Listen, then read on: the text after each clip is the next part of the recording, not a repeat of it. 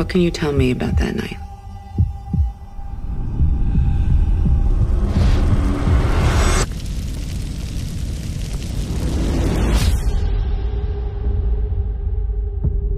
Where are we? Nowhere. You all alone up here? Your brother said you guys might stick around. He lied. You don't even know who he is. Not the season for that yet. We're just doing some target practice. Kind of feel weird.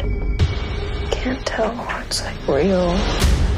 You're just a kid on a camping trip with your big brother. How was your relationship with your dad? When I say fire, fire. Fire. Everything from before this trip.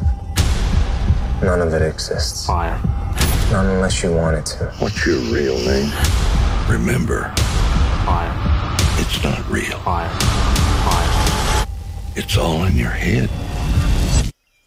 And I need you to answer honestly. What were you two doing out there in the forest?